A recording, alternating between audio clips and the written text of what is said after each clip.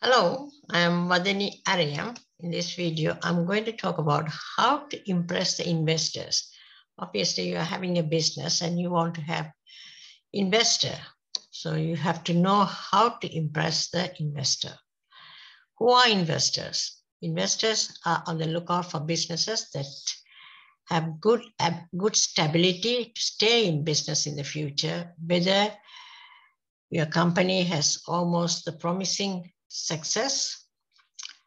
They are people who are there to help if you have a sustainable business and need to need finance to finances to grow the business. If your business is very good, if they uh, if the investors are looking for businesses which are very good, and if they come across yours, they will agree to invest in your business. How to impress them?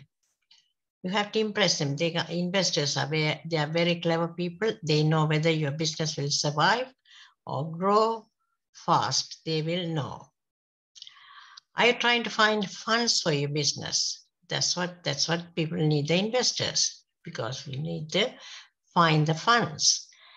Then the first thing you have to create a plan for your business. You have to just you cannot talk about your plan. You have to create a plan and put all that in writing.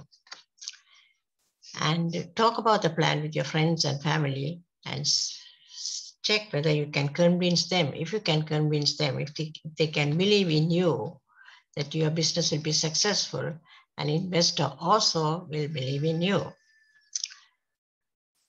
And also, not only your friends and family, because maybe they might be saying is good because to please you, to make you happy, you have to contact the professionals to get the feedback about your project. Say you are happy with all that, then if so, you are trying to sell either a product or service. Have you made a decision about a product or service? Do you know whether you have a passion for it? You can't just select a product which where you will not have the passion in future.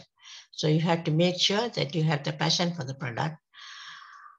I have to warn you, if you do not have the power, the passion, you might leave, you might start the business and leave it in the middle of running the business. So that means you have wasted the precious time and energy. Time is money, remember. The next question you have to ask yourself, why do you want to become an entrepreneur? Whether you have the real passion to become an entrepreneur or just because somebody else is setting up a business, maybe your friend or relative, so you also want to do that. It's not, it doesn't work like that. You have to have your passion. Before stepping into anything, you have to ensure that you have genuine interest, genuine reasons to start a business and genuine interest also, because you will spend most of your time and money in your business and you do not want to face failure at the start itself.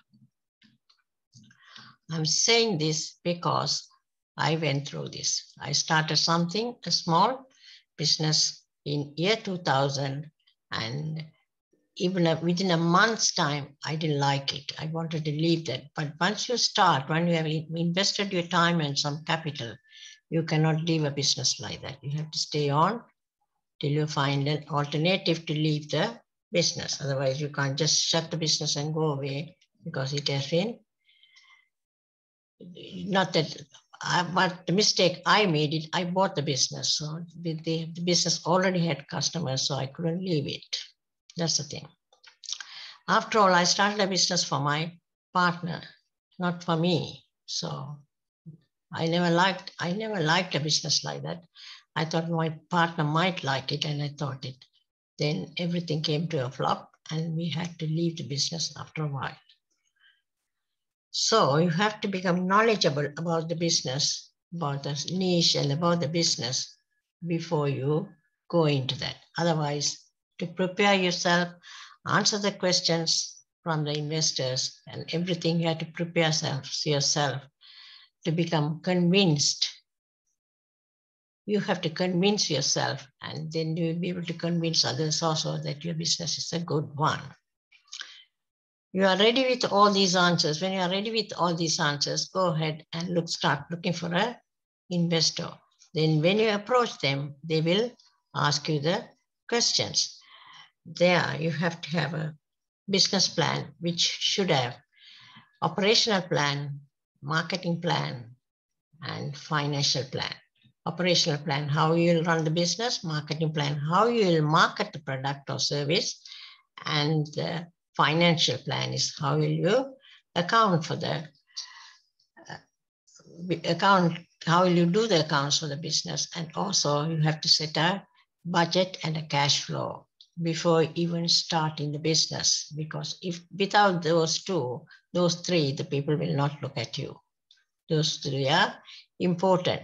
Your business plan helps you, you, you show your in, investor the seriousness of your product. When you have three things like this written down clearly, and when you're ready to done the calculations the cash flow and the budget, then the people, somebody looking at you will think, well, they, you can convince them, they will think that you are serious about the business. You are not just playing around. So they might want to join you if the figures are good. And if you have worked it hard, then it will look good.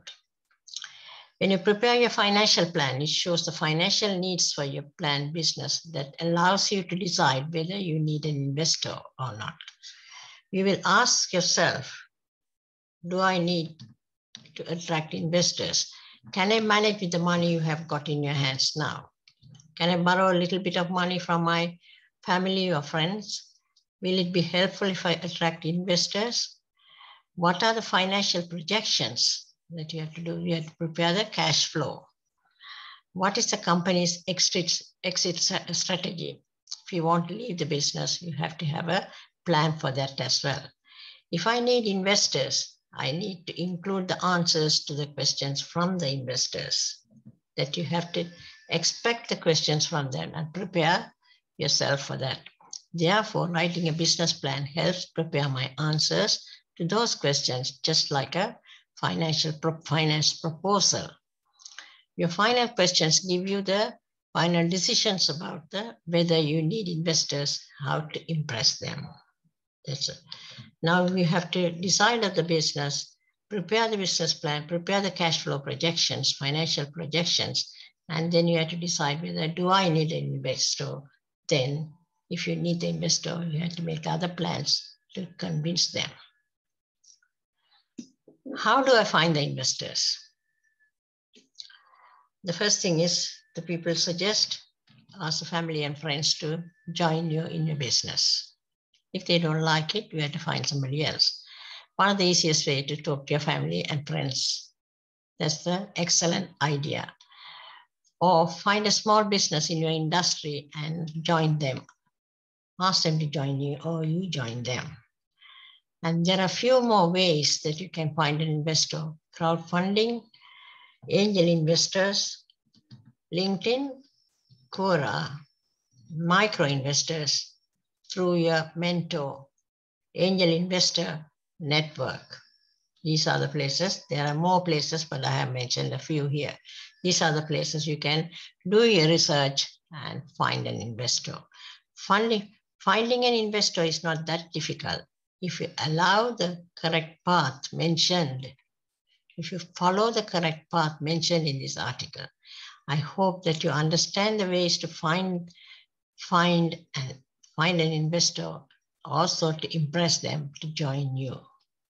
That is the important, you have to find one and then you have to impress them also to join you. I hope you like this video. Thank you very much for watching my video. If you like it, please share it as well. Thank you. Bye for now. Talk soon. Thank you.